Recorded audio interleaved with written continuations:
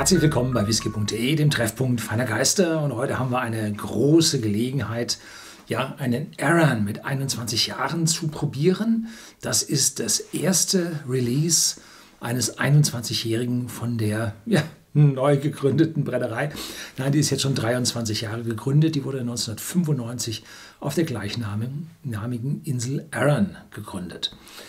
Jo, man hat anfangs ordentlich Fässer zur Seite gelegt. Allerdings waren wohl die ersten Jahre mit den Fässern ein bisschen schwach. Man hatte gerade das Geld für die Brennerei zusammen und wohl noch nicht für so wirklich gute Fässer.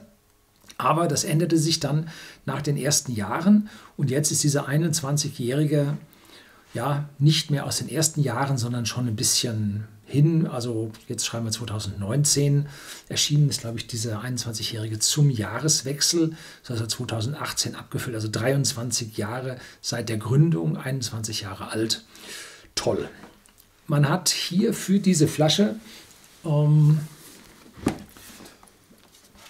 sowohl Ex-Bourbon-Fässer als auch Sherry-Fässer verwendet und hat sie hier in einer etwas aufwendigeren Verpackung zusammengefasst. Ja, äh, die Flasche liegt bei 118,50 jetzt im Moment. Und äh, das ist die erste, das erste Release, das limitiert ist auf 9000 Flaschen. Immerhin, man hat hier aus diesen Fässern, also eine gehörige Portion an Fässern zusammenbekommen, um das äh, ja, das erste Release auch in einer Auflage zu bringen, was die Leute auch kaufen können. 46 Volumen Prozente Alkohol. Jo. Unabhängig, unabhängige Besitzer, unabhängige ja, Einstellung. Minded steht da hinten drauf. Jetzt habe ich die Flasche, das soll man ja nicht machen, vor den Greenscreen gestellt und hat eine ganz hässliche grüne Farbe bekommen. Darum gibt es jetzt hier diesen weißen Aufsteller äh, da hinten vor und dann sieht man hier dann das relativ schön. Jetzt stellen wir das dahin. Was sieht man sonst noch drauf? Nicht kühl gefiltert. Ja, Aaron ist also eine Brennerei, die sowohl rauchigen als auch nicht rauchigen Whisky herstellt. Rauchigen Whisky in geringerer Zahl und in den normalen anfangs gar nicht, sodass dieser Whisky hier null an Rauch enthalten wird. Ähm, es gibt jetzt vom selben Eigentümer eine zweite Brennerei, die gegründet wurde, und zwar äh, die Lochranza Brennerei, ähm, wo hier Aaron hergestellt ist, die ist ganz im Norden der Insel. Und die neue Brennerei, die gerade, glaube ich, in Betrieb gegangen ist, aber noch keinen fertigen Whisky zum Abfüllen hat, weil sie halt jetzt erst 2018, meine ich, in Betrieb gegangen ist, ähm, die stellt dann wohl anschließend nur rauchigen Whisky her und die ist dann an der Südspitze der Insel. Die Flasche hier ist jetzt verklebt, weil die äh, geleckt hat. Und da haben wir sie extra verklebt, ist aber noch original verschlossen. Und damit habe ich hier die Chance, ja, den zu probieren, ähm, was ich sonst nicht gemacht hätte, weil die Anzahl an Flaschen ist noch sehr begrenzt. Äh, und ja, ist also nicht der Korken, der kaputt war, sondern, weshalb hat die geleckt? Der ging relativ leicht raus, nur so leicht auch. Ah, da hat er einen Riss an der Seite. Den ganz schlichten Riss, wo es rausläuft. So.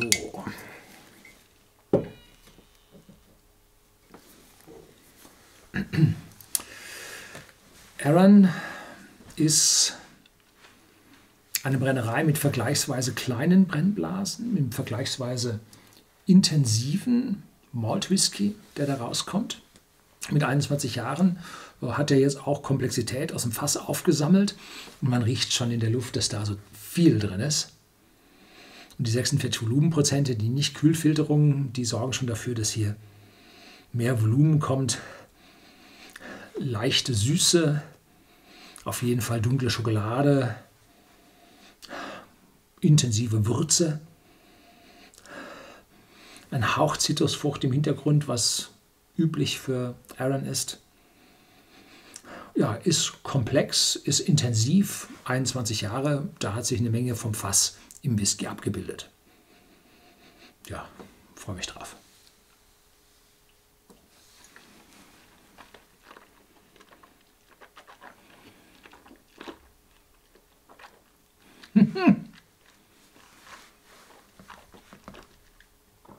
Ho, anders als gedacht. Da ist also einmal fruchtig-ölig, leichte süße Note und dann geht es rüber in die Grapefruit, in eine zarte Bitterkeit, eine Schärfe von Ingwer. Und dann im Abgang, ja, getrocknete Früchte, kandierte Früchte, Datteln, Pflaumen, Feigen, all das, was aus alten Sherryfässern so rauskommt. Und ja, Grapefruit, Orange, Orangenschale. Boah, lang. Ordentliche Würze drin. Boah.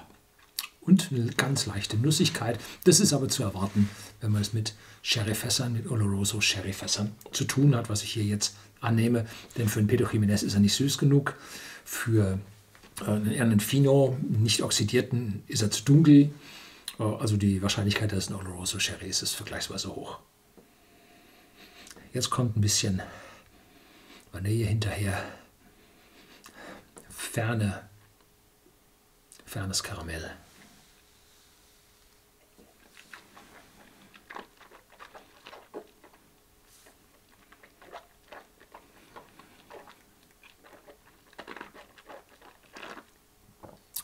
Voll, kräftig, intensiv, sehr komplex, angenehm.